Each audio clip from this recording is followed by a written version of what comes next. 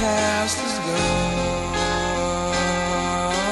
It went back like dust to dawn.